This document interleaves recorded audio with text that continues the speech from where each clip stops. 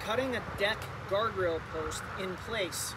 I made a mistake. I grabbed the wrong side of the 4x4 and installed this. It's much too high.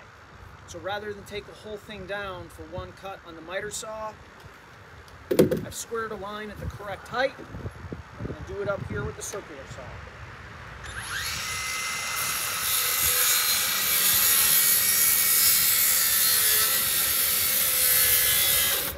What I'm to do, that kerf is nice.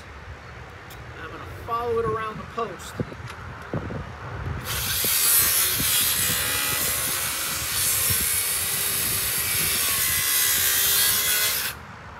blade plate is resting a little bit